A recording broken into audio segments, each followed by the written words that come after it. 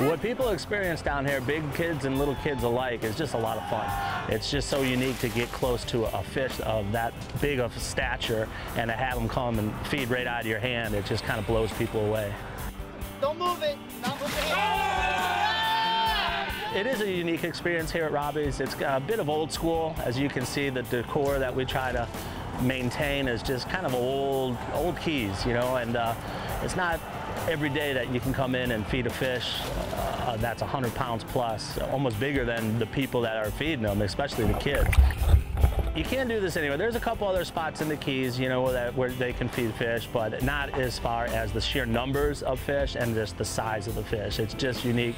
And especially if you catch a real nice high tide on the docks, I mean, the fish is right there. It's a, like a foot away from you. And just a little hint, it's never the one you're looking at. That's, that's a little hint from Robbie's.